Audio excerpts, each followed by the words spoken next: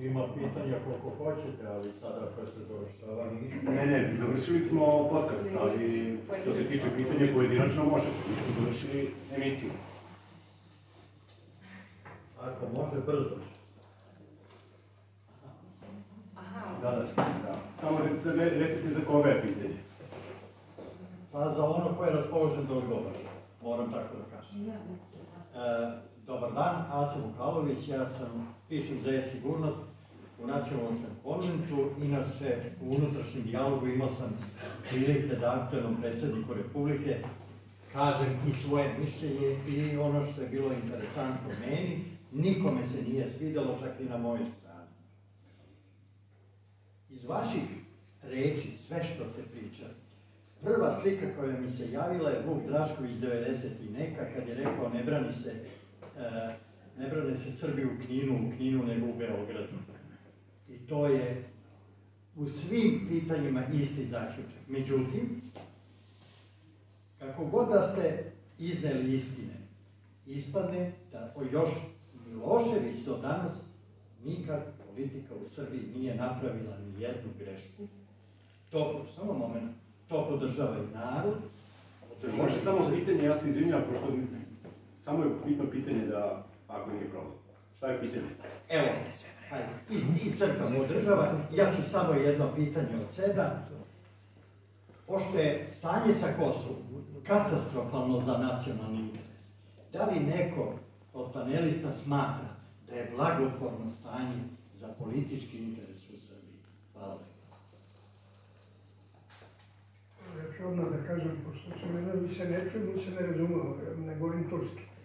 A ja mislim da mi još uvek živimo uh, tu Miloševićevsku politiku, koja je daleko da je dobra, vidimo cenu. A da li je ona profitabilna? Jeste. Da li su milijarderi nastali na njoj? Jesu.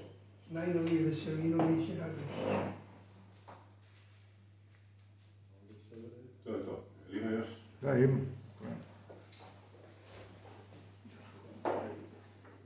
Šegović, S-Info.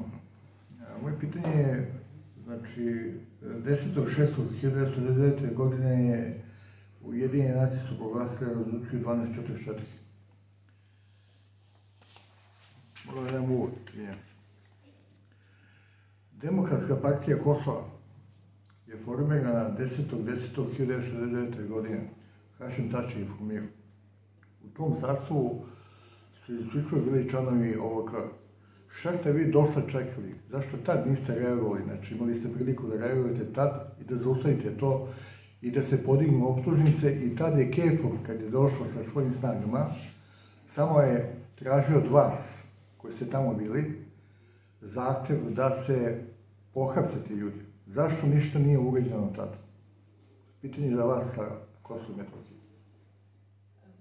ja sam ja sam tad imala sedam godina, ne znam šta da kažem. Ne znate za to? Ne znate za to? Ne, Pa, ja da sam imala imala sedam godina. Ta, dobro, pa, neka odgo- odgovori gospodin.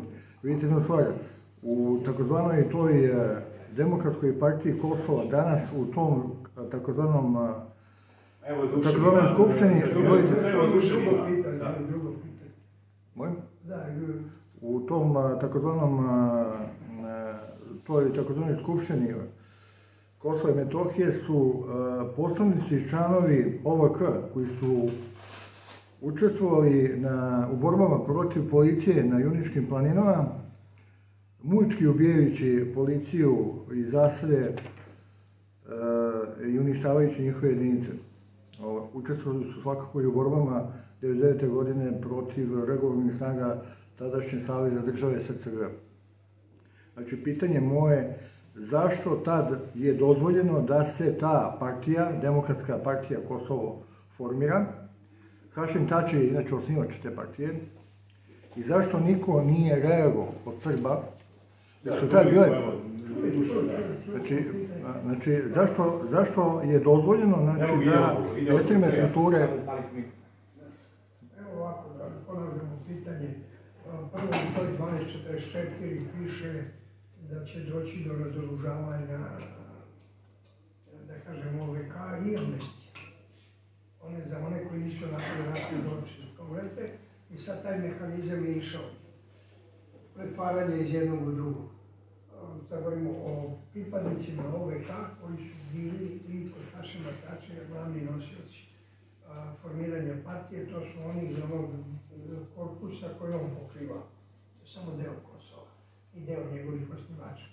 Zašto je Hašim Tači mogao da formira partiju, između ostaloga, zbog toga što je on bio ključni igrač američki u Rambuju. On je u stvari doveden, završio jedan vrlo važan posao posle odbijanja Adema Demaćija da prihvati, kao što je Sloboda Miloševića odbio odnosno delegacija. Znači, Hašim Tači je u tom momentu bio je favorit, da kažemo, Sjedne američkih država. Rugova, koji je bio nesporni vođa, a, njegova partija, a, činilo se mnogima, a i Nemcima i ostalo da, kao ono, znate, Kira Grigorov je ovaj, čim je neko dugo na vlasti i mnogo popularan, treba ga smeniti. Znači, to je više bila igra koja se ticala stranaca i albanaca, što se tiče Srbije, Srba, oni ništa tu nisu mogli uraditi. I sad koristim ovo zbog ove lupotrebe tog pitanja, šta je Srbija uradila, to je ona famozna amnestija. Ali to nije bila amnestija samo albanaca, kako se predstavlja. To je bila jedna obaveza, ako želite budete priznati kao nova demokratska država, Srbija je prošla SRJ taj mehanizam, onda ste morali sve one koji su bili u pritvorima, a nisu završeni postupci protiv njih, to je hiljadu i nešto albanaca, gde je bio i Flora Grovina je bila pesnikinja, ne, ona je služila proalbanskom lobiju da napravi jednu veliku međunarodnu mobilizaciju oko tog pitanja. Dakle, kad su te vlasti, Koštunica, to doba i Đinđić, to uradile, Oni nisu puštali borce OVK, jer pa, vi ste, već ste... amnestirani, molim vas, ima vezu s vama, na osnovu 1244. E, to je to. E, e, hvala vam. Ima sledeća konferencija, termini su zauzeti, tako da možete da ostanete da se... Hvala vam. Još nije druga.